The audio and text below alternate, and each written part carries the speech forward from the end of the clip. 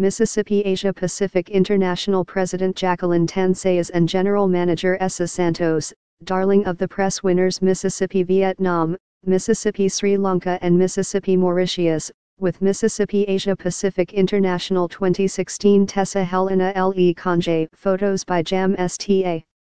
Rosa Yuki Sonoda After a decade-long hiatus, the oldest international beauty contest in Asia is slowly finding its voice in the already crowded pageant world.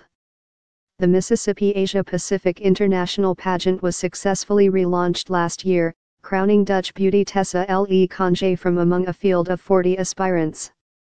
This year, 42 international delegates are in the Philippines to complete the tilt's resurrection, under the auspices of millennials who are eager to revive a 49-year-old contest. Young entrepreneur Jacqueline Tan Sayers, former Mutya NG Pilipinas president, is at the helm of revival efforts.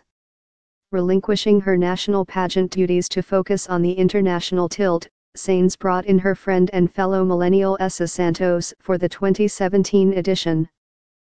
Santos, who is the pageant's general manager, was introduced at the delegates' press presentation held at the EDSA Shangri-La in Mandaluyong City on November 13. Now under new ownership and management, we're proud and excited to say that the Mississippi Asia Pacific International is back and determined to make its own distinct mark in the beauty pageant industry, Santos said.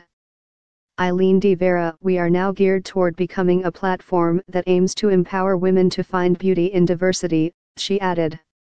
For Santos, this advocacy hits home with millennials we feel that in a generation that experiences extreme pressure to be a certain way, look a certain way, and think a certain way, respect and appreciation for whatever sets us apart have faltered, she explained. Santos said the pageant hopes to celebrate the things that make us unique, be it race, ethnicity, religion, belief, opinion, life experiences and everything else. She said the organization hopes to forge solidarity and sisterhood among the delegates, who they hope would view the pageant as more than a contest for a crown and title.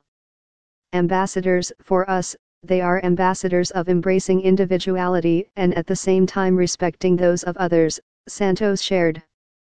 The pageant, she said, is now looking for a queen who is strong and confident, and proud of herself, her culture, and all the things that make her who she is. Ka Yin Lai It was the home stretch of Sainz's Mutya presidency when she spearheaded the revival of the international pageant, which was last held in 2005.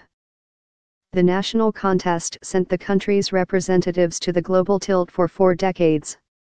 Sainz revitalized the national pageant, fostering partnerships with beauty contest aficionados in the Visayas and Mindanao, to discover the untapped beauties beyond the reach of the other national searches. She also strengthened Mutya's relationships with overseas partners, who continued to send representatives from Filipino communities abroad, to highlight the global Filipino spirit.